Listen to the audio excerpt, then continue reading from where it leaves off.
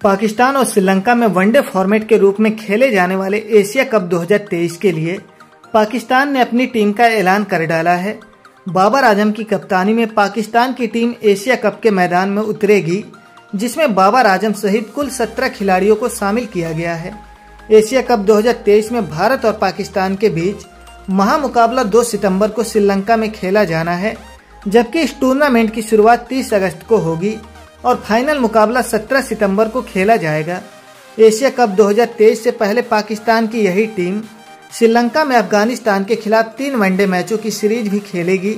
Asia Cup 2023 इस बार one day format में हाइब्रिड मॉडल के आधार पर खेला जाएगा, जिसके तहत चार मैच पाकिस्तान में तो बाकी मैच श्रीलंका में खेले जाएँगे।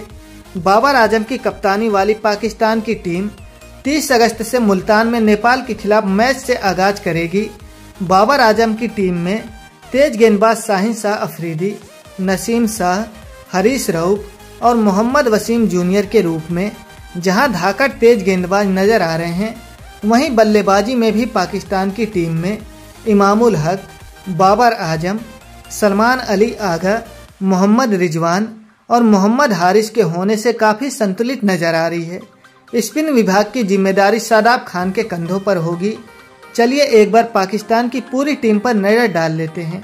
अब्दुल्ला सफीक, फखर जमान, इमामुल हक, बाबर आज़म कप्तान, सलमान अली आगा, इफ्तिकार अहमद, तैयब ताहिर, सऊद शकील केवल अफ़गानिस्तान सीरीज़ के लिए।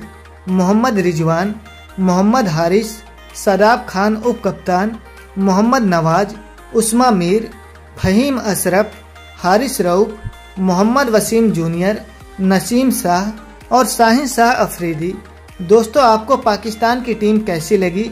कमेंट करके ज़रूर बताएँ। और अगर वीडियो अच्छी लगी हो तो वीडियो को लाइक करें।